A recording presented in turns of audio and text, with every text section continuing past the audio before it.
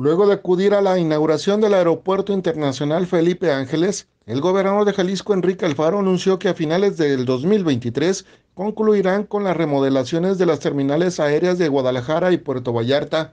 El mandatario estatal señaló que la reconfiguración de los aeródromos de Jalisco responderá a las necesidades económicas y turísticas de la República para ocupar el lugar más importante del sistema aeroportuario nacional.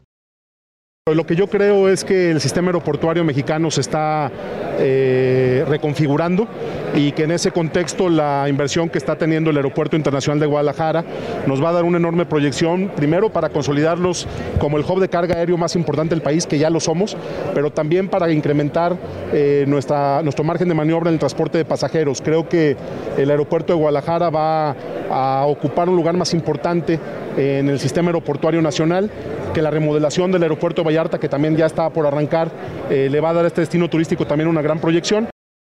Enrique Alfaro mencionó que las negociaciones con los ejidatarios de El Zapote y el gobierno federal van adelantadas y aseguró que las obras de renovación que se realizan en el Aeropuerto Internacional de Guadalajara, entre ellas la segunda pista, no afecta el litigio que mantienen. Las obras estarán terminadas para finales del año 2023.